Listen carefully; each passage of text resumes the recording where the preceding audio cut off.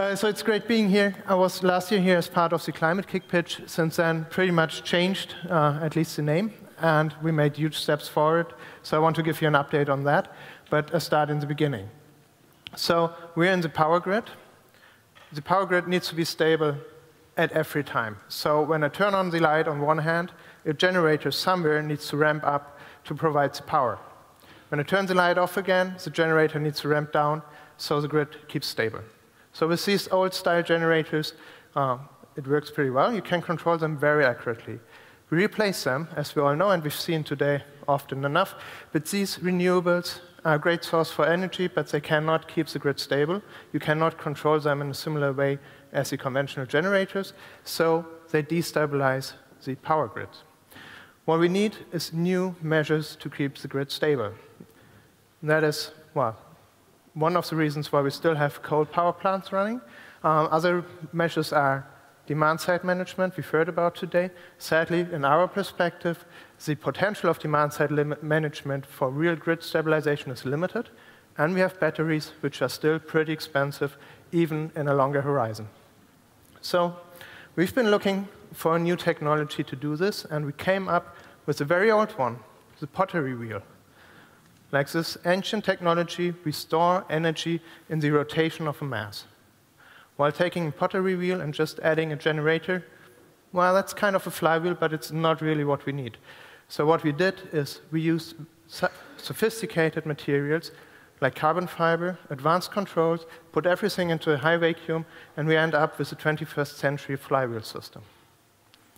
So how do we keep the stable, the grid stable with this technology? If there's too much power in the grid, we use the flywheel, increase the rotational speed, store energy in the motion.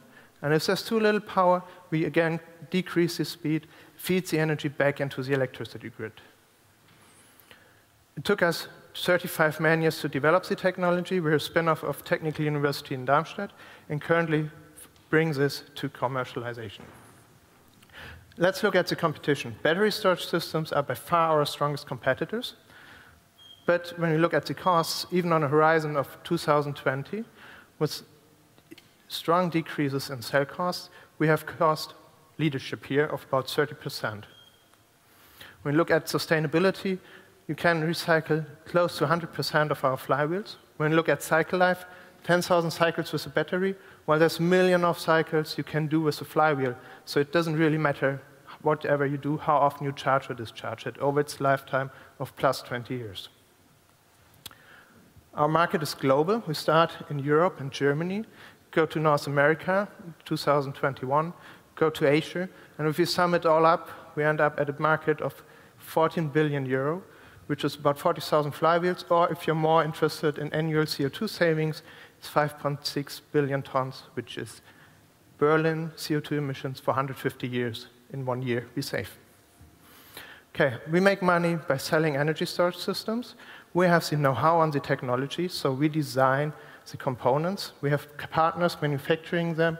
We apply or we assemble the storage systems, put our software on it, and bring it to market. We are four founders. I started in 2009. I asked three of my former students at the university whether they want to start a company with me. Christian worked for a German utility for two years, so we know our customers very, very well. And then there's Nico and Sebastian pure engineers bringing the system together. We also have an experienced advisory board. While we're a startup, so we do not know everything on starting a company, so we need experts helping us. 2009, we started researching. 2013, first prototype. 2015, second prototype. 2016, we finally founded our company. 2017, this year, we will bring our first two flywheels to Ireland. We already seen a cost reduction of 76% compared to the second prototype on these systems. The future, we have our pilot project, Ireland and England, this year. We'll go into market entry next year, start serious production 2019, ramping up with our fourth project in 2021, reaching break even. And if this sounds good and you're interested, well, our first financing round, we need to start bootstrapping and get bigger. so thank you very much. I'm happy to talk to you and see you later.